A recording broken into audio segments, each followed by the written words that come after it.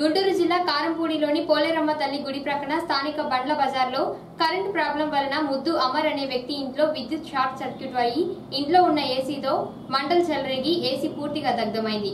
ప్రమాదవశాత్తు ఎవరికి హాని జరగలేదు కానీ షాపులకి అద్దెలు కట్టలేని స్థితిలో ఉన్న యజమాని ఇంట్లోనే చీరలు డ్రెస్లు దాదాపుగా రెండు లక్షల పైగా ఆస్తి నష్టం వాటిల్లింది.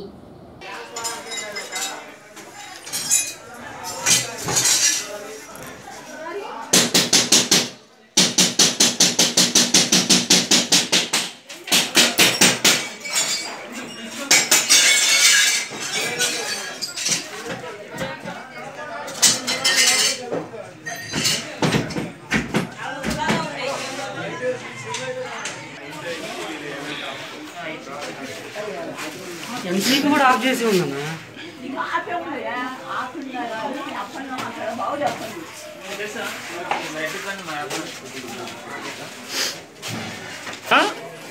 గురుగారు సిలిండర్ ఏం కాదు. ఏం కాదు ఏం కాదు ఏం కాదు సిలిండర్ ఏం కాదు. ఏసీ ఏసీ షార్ట్ సర్క్యూట్ అయింది. ఏసీ కూడా. లైట్ లైట్ ఏరా ఏసీకి లైట్. ఆ heat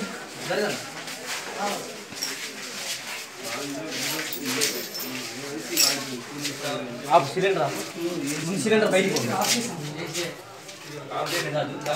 బయటికి